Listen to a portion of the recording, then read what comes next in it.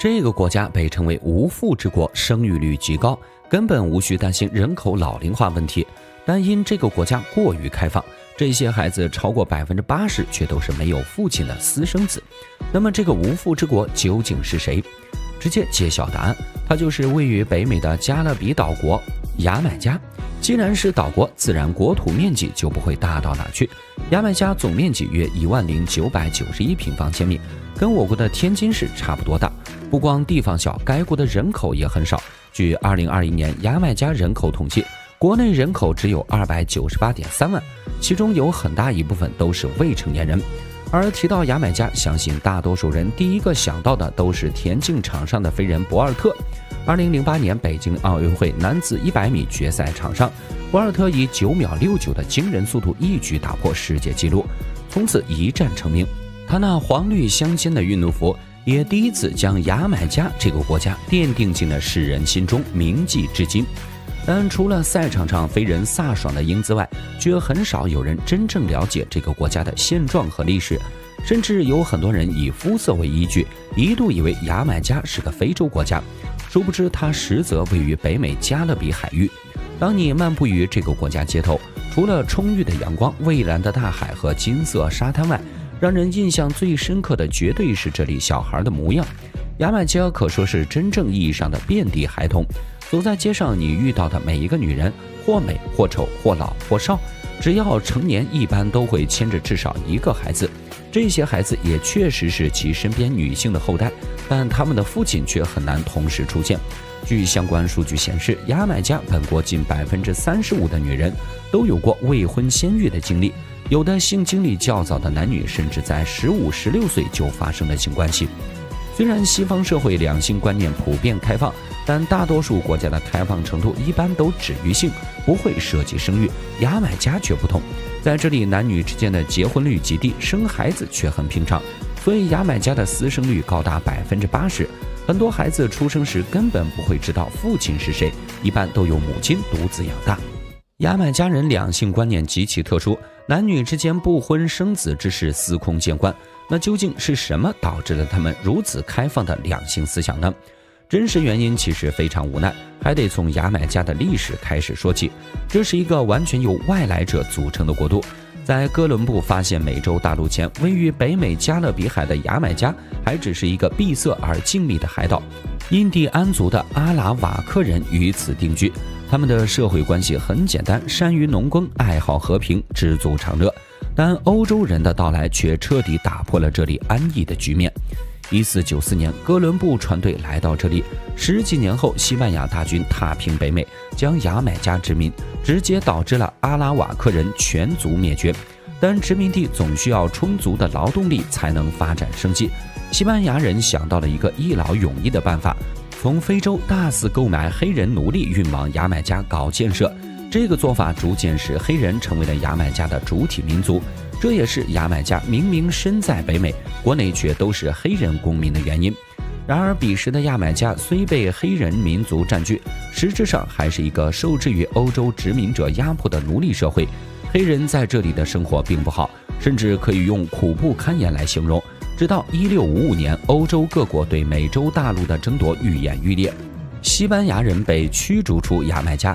在当地黑奴觉得曙光乍现之时，这块肥肉又落入英国之手。随后又是长达数百年的殖民生涯。在被英国殖民的岁月里，牙买加一度繁荣，成为了世界著名的蔗糖及朗姆酒产出国。但这种表面上的繁荣，却令身处于社会最底层的黑人奴隶们更加悲哀。几百年间，当地黑人起义声不断，却仍无法摆脱西方殖民者贪婪的魔爪。直到二战后，大英帝国日落西山，牙买加才正式通过几次内战的契机宣告独立，但仍然属于英联邦所辖。这一年是一九六二年。然而，没有了殖民者压迫的黑人却并未真正找到曙光，仿佛奴役已成习惯，一瞬间恢复的自由，反彻底令他们失去了方向。独立后的牙买加经济落后，建设缓慢，单一的农耕和矿业经济很难支撑起整个国家的发展建设。薄弱的旅游业也在近几年疫情时代的侵蚀下一戳就破，遭受重创。使牙买加人常年都生息于现实所带来的泥沼中。据相关数据显示，截至2021年，牙买加 GDP 全球排名第一百三十二位，只有一百三十六点三八亿美元。而这种情况则催生了更加混乱且开放的两性关系。被殖民百年，一朝独立，却令牙买加经济一蹶不振。而这种不振是否是造成该国民风开放、私生率极高的导火索呢？答案是肯定的。其实，牙买加人的传统思想认为婚姻是绝对责任的象征。对于男性而言，结婚的前提是买房，只有拥有属于自己的房产，才有资格对自己将要组建的家庭负责。这和中国人的婚姻思想如出一辙。但现实情况却是，很少有适龄的牙买加男性能达到这个最基本的婚姻条件。在牙买加，无论男女受教育率都极低，而且男性比女性的受教育还低。目前，男性的高等教育率在百分之十七，而女性则在百分之三十九，以至于这里大多数人都只能在社会最底层挣扎，甚至无业游民比比皆是。而这样的情况又导致牙买加人对婚姻的欲望极低，但也不可能因此禁欲吧。而且国家要长足发展，家庭要维持生机，属于下一代的新生儿又必不可少。加上牙买加身处北美，受西方开放的观念影响尤深，便逐渐衍生出了一套既能纵欲又不用负责的观念。在牙买加，孩子们从八九岁上小学时就对两性话题毫不避讳，从中学起就有两性行为的学生更是多如牛毛。对此，牙买加的学校都是睁一只眼闭一只眼，而在青年男女中，所谓的露水情缘更是普遍之极。在他们的观念里，性是受欲望驱使下的必行之事，甚至一个男人在短时间内与多名女性发生关系都再正常不过。曾经就有外国游客在牙买加乘坐出租车时，听当地司机自豪地吹嘘自己与一百多名女性发生过关系，生育的后代不计其数。而不只是牙买加男子，牙买加女人也从不对未婚生育之事感到羞耻。在他们的观念中，男性就如一个免费的精子库，反正都需要生孩子养老送终，还不如靠自己生养。毕竟在牙买加，男女工资水平都差不多，人均月收入在两千六百元左右，而且很多男性甚至还不如女性有资本。虽然特殊的两性和生育观念是如今牙买加在西方独树一帜。甚至被很多外国人称作“男性的天堂”，但当真如此吗？